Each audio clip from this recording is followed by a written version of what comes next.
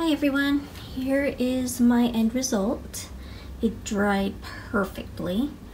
Um, we are naming this one Cruella. And I don't, let's see if I can get the gold for you. The gold is really, really pretty in this one. I haven't put a sealant or anything on it, but it's still super shiny.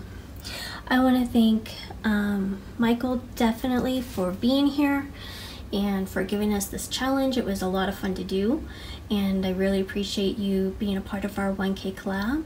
I also want to say congratulations to Bonnie. She graduated out and um, I hope her the, the, very best in the future. Please um, look at the playlist, but you can also um, follow in my description box um, Adrian and Cory from Art's Really Cool. They are up next. I hope you enjoy the rest of the collab. Have a great day. Bye.